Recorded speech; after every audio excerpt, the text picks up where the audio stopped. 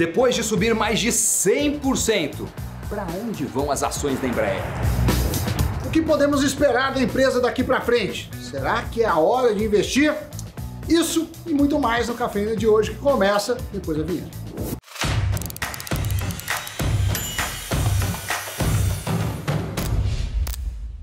Amiguinhos e amiguinhas, em um ano e meio as ações da Embraer em BR3 viveram uma verdadeira reviravolta.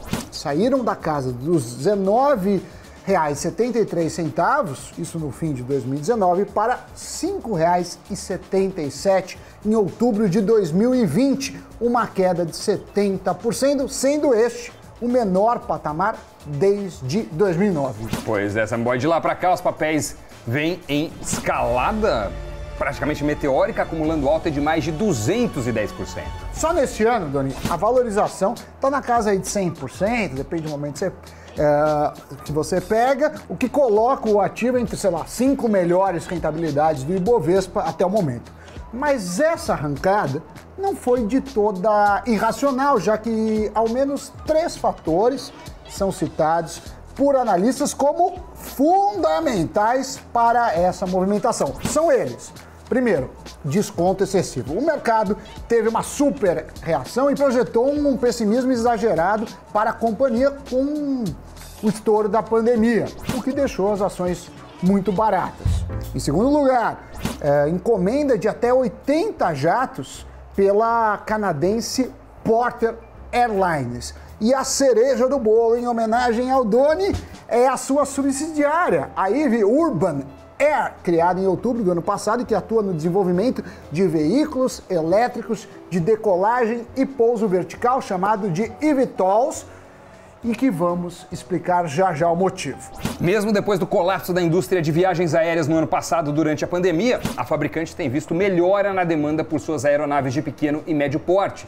Clientes mais ricos estão voando cada vez mais em jatos executivos em vez das aeronaves convencionais, né, dos voos comerciais. E tudo isso vem ajudando a impulsionar o crescimento da Embraer, que é muito forte nesse segmento. É verdade. As entregas de novos pedidos aumentaram 57% no primeiro trimestre em relação ao ano anterior.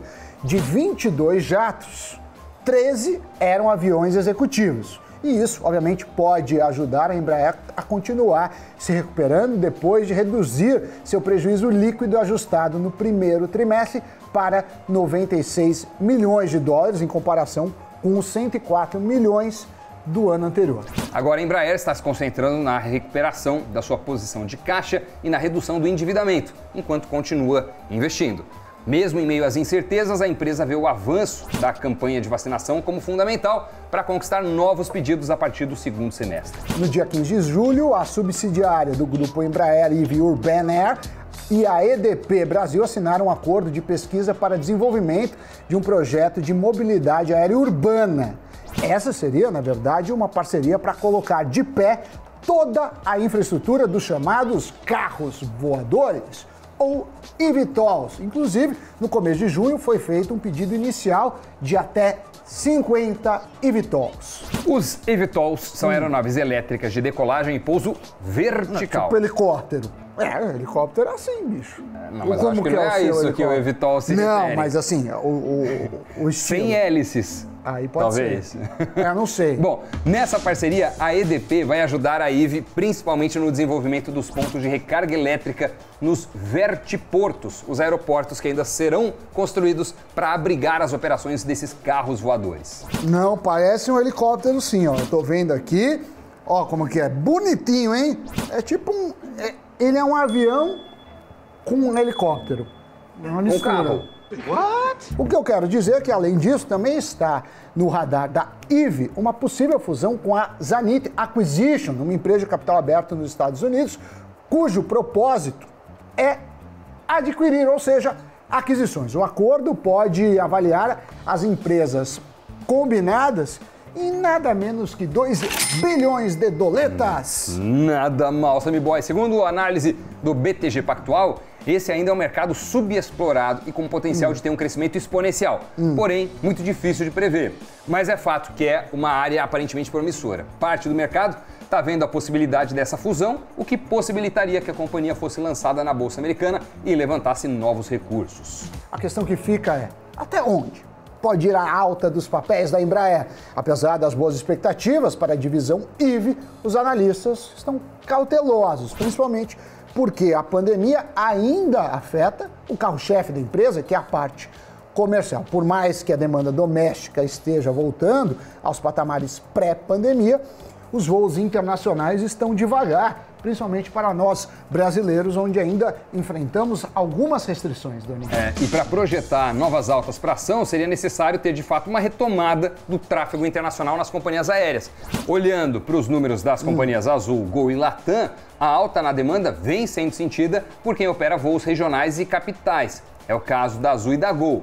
A Latam, que tem maior exposição a voos internacionais, por enquanto, ainda não mostrou essa recuperação da demanda como as demais. Analistas temem que a divisão comercial da Embraer, que é o carro-chefe da empresa, como eu falei, venha a ter uma dificuldade de recuperação muito grande neste ano, 2021, e no próximo, 2022. A previsão é de que a situação se normalize apenas em 2023. Para o analista da Isinvest Buy Nubank, Eduardo Pérez, apesar de a Embraer depender totalmente da reabertura da economia, ela já vinha apresentando resultados relativamente ruins desde antes da pandemia.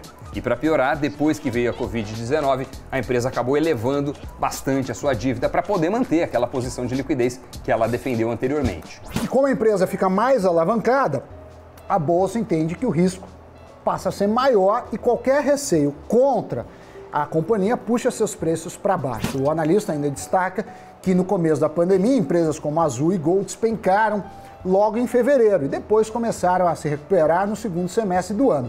Mas a Embraer só embarcou na expectativa da reabertura da economia bem mais tarde. Exatamente, Sammy Boy. Os papéis da Embraer tiveram uma forte arrancada em junho, quando bateram pouco mais de R$ 21,50. Depois voltaram a cair em outubro e desde então as ações passam por um movimento de correção na bolsa. A questão é que essa retomada pode demorar um pouco mais devido a essas novas variantes, como é o caso da variante Delta. Enfim, a pandemia gera dúvida e a gente depende aí do controle da pandemia para as ações voltarem a subir. Muito bem, para o longo prazo existem expectativas de crescimento das ações.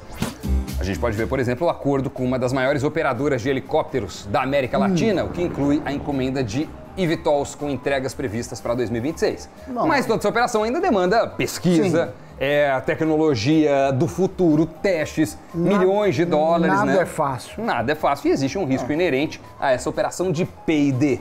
É verdade. É. Já a curto prazo, qualquer impacto nos papéis da empresa está mais relacionado ao turismo, com países reabrindo fronteiras e, com isso, encomendando aeronaves. E você que não quer ficar voando, tem que ficar de olho no que aconteceu no Brasil e no mundo. Gostou do trocadilho? Mas vai ficar voando, para você não ficar aéreo. Segue o giro de notícias.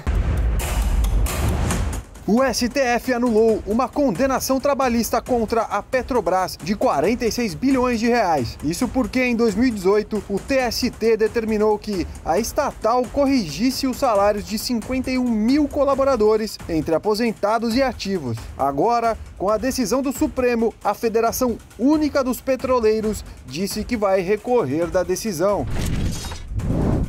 A criação de vagas formais de trabalho no Brasil acelerou em junho em relação ao mês anterior, segundo dados do CAGED. O país abriu 309.114 empregos com carteira assinada no mês passado, 33 mil vagas a mais que o registrado em maio. No ano de 2021, o país acumula a criação de 1.336.717 empregos com carteira assinada.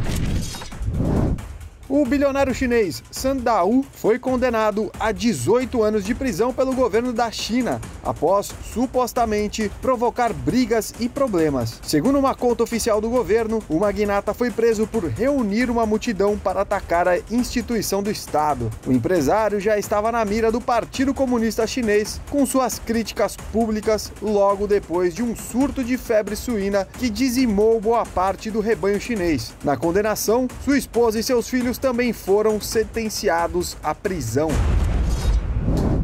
Muito bem, Sammy Boy, agora sim estamos de posse de todas as notícias em nosso hangar, então podemos nos despedir. Uh, despedir, é hora de dar tchau.